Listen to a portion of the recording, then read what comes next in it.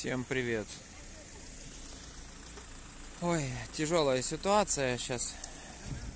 Это дорога, которая ведет в Польшу. Вот. А это Твиржа. Так называется этот населенный пункт. Вот там школа. И вот там вот туда километров 20 очередь. Вот так машины стоят. И туда 21 километр очередь машины стоят.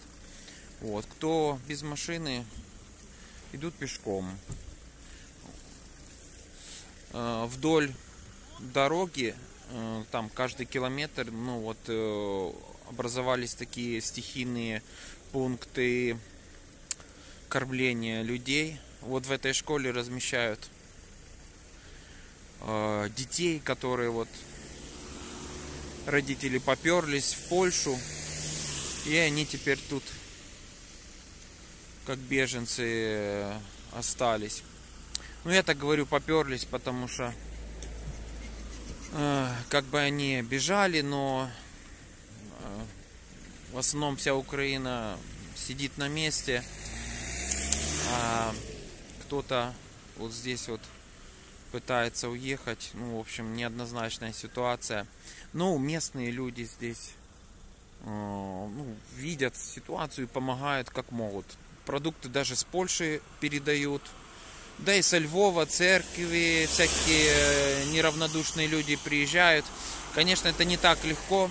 Вот, например, э, только если у вас там продукты и какие-то вот есть возможность, ну, видно, что вы не, не, не едете на границу, тогда вас э, местные, ну вот, как это называется, волонтеры, которые следят за тем, чтобы не лезли через мимо очереди, они вас будут пропускать. Вот, поэтому кто планирует ехать в Польшу, э, вы очень сильно подготовьтесь, потому что это будет приключение вам на всю жизнь. Если вам подвернете ногу, то ну, надо будет ждать полдня помощь. Вот, а подвести вас никто не будет подвозить, там такси какой-то. Ну, хотя вроде говорили, что есть такой автобус только с детьми. Только подвозят, только если у вас есть дети. А, вот вот возле этой школы. Так, ну, как бы есть. Но э, можно ли добраться сначала сюда, то есть все очень сложно, хотя с каждым днем, с каждым днем все легче становится. Э, вот, поэтому чем позже вы будете выезжать, тем скорее всего этот процесс выезда будет более легче.